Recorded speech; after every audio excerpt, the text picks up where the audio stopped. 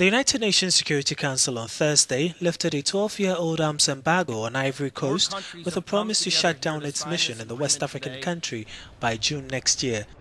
The embargo was imposed in 2004 after the 2002-2003 civil war in that country.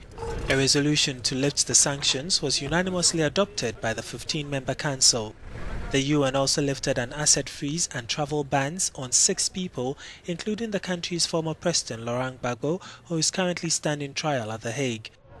Under the resolution, UN peacekeepers deployed in 2004 will leave the Ivory Coast by the end of April 2017.